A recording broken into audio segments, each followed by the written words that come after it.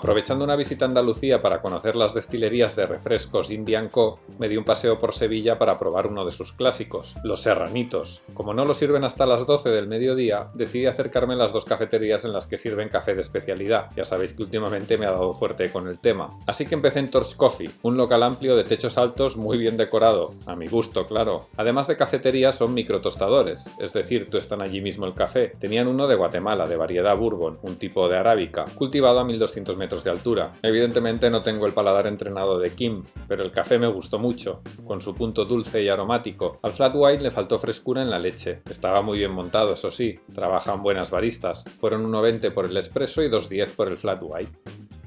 De allí me fui a la otra cafetería con café de especialidad, Virgin Coffee, también son microtostadores. Lamentablemente la encontré cerrada. Pregunté en la cuchillería de enfrente. Resulta que Pedro, el propietario, está a punto de ser padre, así que tenía cosas importantes que hacer. Pronto se hicieron las 12, así que tocaba serranito. Hay versiones, pero creo que no me equivoco si digo que es un bocadillo de pan de mollete, con lomo o pollo, además de tortilla, una loncha de jamón, pimiento frito y tomate, acompañado de patatas fritas. Me habían hablado del menta y de las macetas de Triana, pero me quedaba muy lejos, así que me acerqué al Mesón Serranito, un local típico sevillano que forma parte de una cadena de tres. Me comentaron que no lo servían igual en los tres, así que probé dos. El primero muy completo, lo pedí con lomo, el pan esponjoso, el bocadillo equilibrado, con la loncha de jamón sobre la tapa del bocata y las patatas de verdad. Me lo comí con ganas porque no había desayunado. Tendría que haber metido el pimiento en el bocadillo. Con la caña pagué 6,20.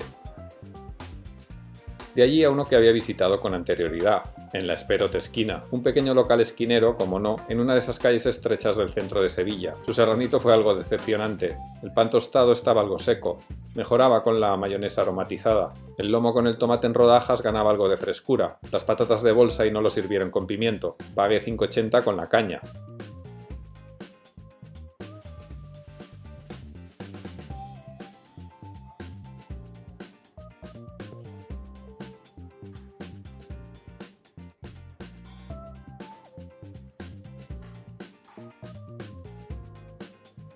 Segundo mesón serranito, este en la calle Alfonso XII. Había muchísimo movimiento. Los camareros muy atentos. Como no me quería sentar en mesa con mantel, lo pedí en la barra. El serranito muy parecido al otro mesón, aunque me gustó menos. Encontré el pan algo más seco y las patatas no estaban tan buenas. Supongo que en la cocina estaban con mil cosas a la vez, dado que ya era hora de comer. Pagué lo mismo que en el anterior, 6.20.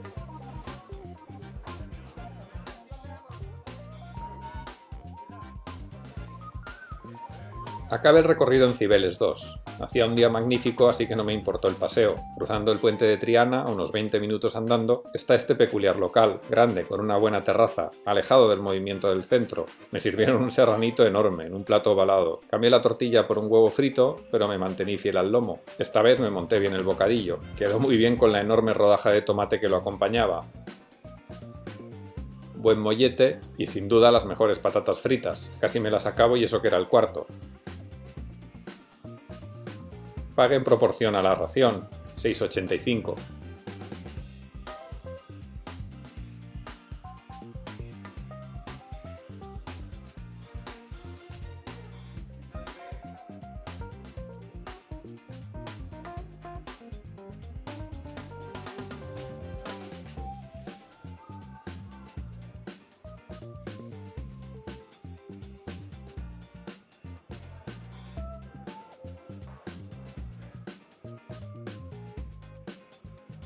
Hacía tiempo que no me marcaba uno de estos vídeos y lo he disfrutado, la verdad. Espero que vaya bien, un abrazo, hasta luego.